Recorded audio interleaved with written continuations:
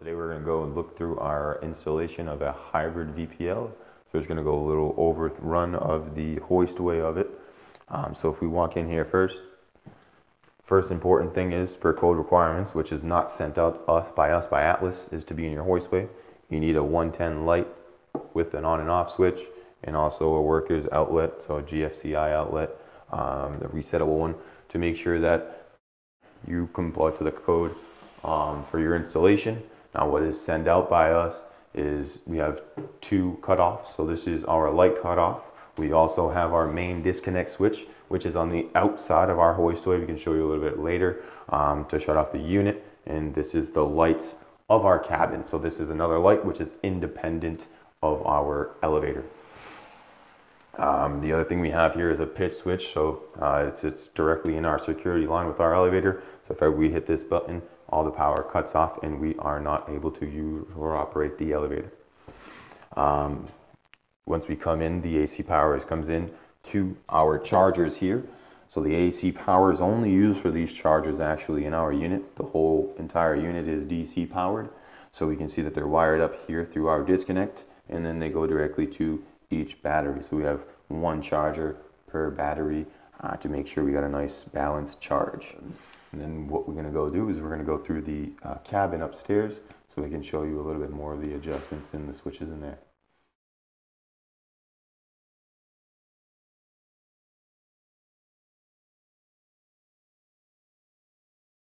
Now we're going to be showing you the inside of the cabin of our hybrid VPL. So as we can see, remember a, this is a zero degree unit, so we only have one side entry, same uh, entry exit. Um, this is our control wall. So basically the wall with the COP in it, the control operational panel, um, is always the one with the rails behind it. So what we want to do is I'm going to go through a little bit process of how to remove this wall. We're going to look what's behind it. So we have our speed governor that's there, and we're going to go and look through the adjustments of the switches we have as well. So our first step is to remove the COP. Um, the whole actually cable is going to be done with a uh, Phillips head screwdriver. I have it on my impact gun. So it's the four bolts of each corner.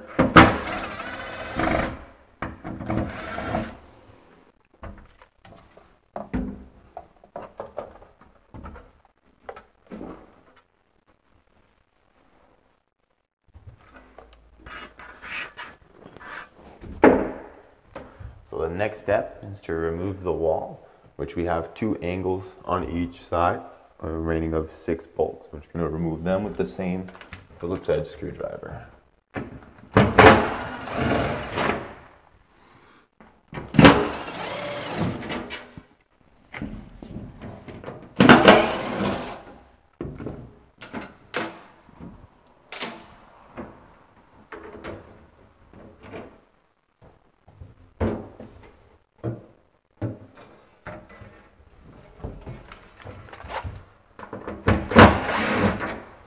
Alright, so once we remove the two angle irons on each side, uh, the panel is completely free and we're able to lift it up and actually slide the lower section towards us. So we lift up and we slowly slide it towards me.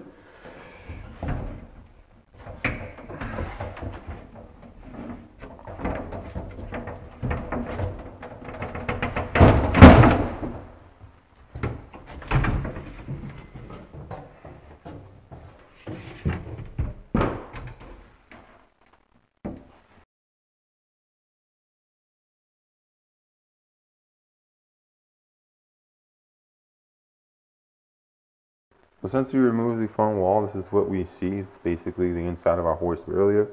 I unplugged my COP. Um, if you need to operate the unit without the front wall installed, you need the COP to be plugged in for the safeties in the cabin. Uh, so we have our brake switches, our slack cable switches, and our emergency stop. So they all need to be wired up for the elevator to be safe to move. So if it's not plugged in, the elevator is not going to work. So that's the first thing. The second thing we want to look at is our switches that we have to for our landing switches. So the first switch that we're going to look at is the door zone switch. Um, so we have one door zone per landing. That is the switch that is fixed on the Unistrut of the unit. And it activates on a 4-inch cam um, that follows and travels with the cabin. So with the cabin that goes up uh, and down, that's the four inch cam that activates that switch. And then we have the other switch that's underneath it, which is our landing switch, our stop switch. We call it LSE. Um, that switch is activated by the cam of the door zone. So once the door zone is center of its four inch cam, we need to make sure that that's when the landing switch activates to stop the unit at the right height. The door zone switch adjustment, the most important part is the intermediate levels. Since we go up and stop on a landing and go down to stop on a landing, if you're not center of that four inch cam, you may have a little bit of distance between the stops to get out of your landing. So just make sure that that door is on switch is center when it stops on the stop switch. Like I said, the LSE switch, once that one activates, it stops. So once it's center and it stops on the right switch, you should be uh, dead center of your landing.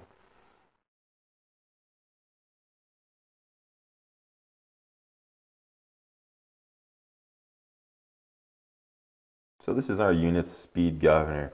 Um, what this is here for is to maintain the right speed of the elevator. So if the elevator to free fall or to go faster down than it's supposed to, this speed governor will trip and actually engage this bar here to engage the brakes into the rails. And that completely locks the unit into place and stops it from going down. Um, once that is complete, so like I said, uh, you go through this strap here and it's attached to a switch. So even if this uh, cable were to break, the switch will fall down and get activate this switch to cut off the power of the elevator. The strap in the speed governor travels up and down with the cab, so we can understand that it turns all the time throughout the travel. And if it speeds up, that's when it'll open up and engage the brakes for the unit.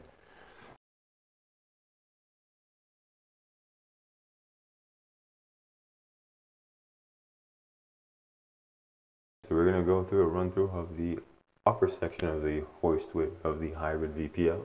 So what we have up here is basically our motor in our gearbox. So basically it's a winding drum unit. So see we have our winding drum here with our cables um, that basically uh, spoil up to lift and to lower the elevator.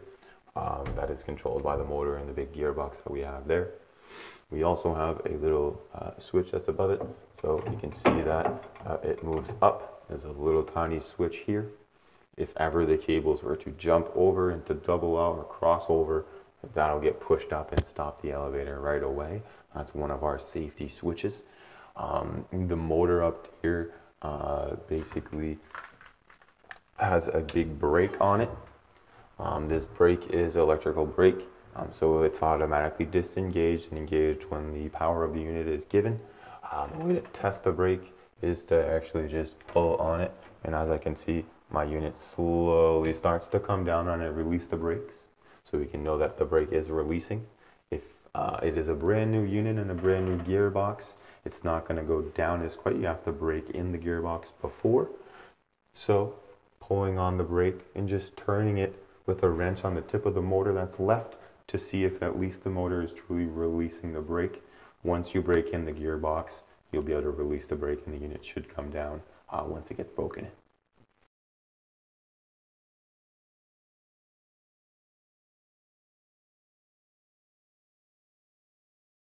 Alright, so right now we're going to go inside the hoistway again I'm going to show you guys a little bit uh, about the rails and how to install them and what kind of sections they come into.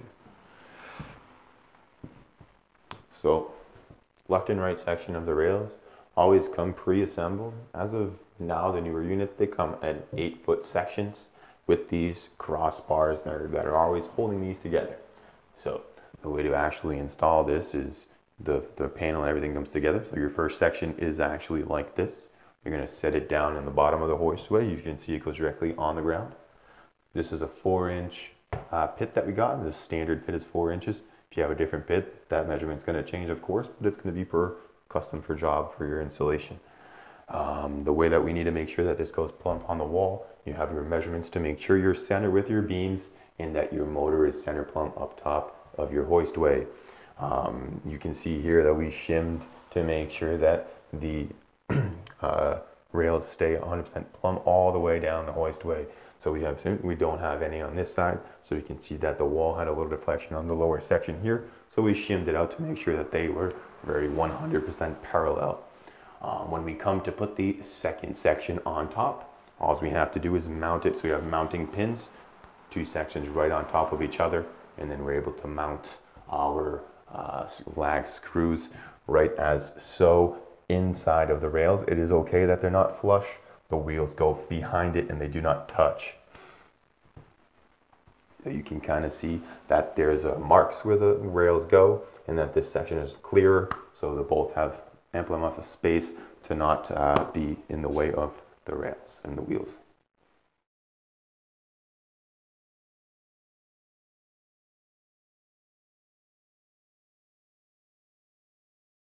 So going back to the two uh, disconnects that we have on our unit, we have our main disconnect that's on the outside of the hoistway, and this is our light cutoff inside of the hoistway. Not to confuse with the light that's for the worker inside of the elevator shaft. It's independent. This is the lights that are inside of the elevator cab. Uh, when we shut off the main cutoff, it's important to always shut off this cutoff as well because we don't want to drain the batteries. Once we shut off the power from the main cutoff, the lights in the cabin automatically turn on and with no charger the batteries will drain. It's always important to come in here and shut that off if we turn off the power of the unit.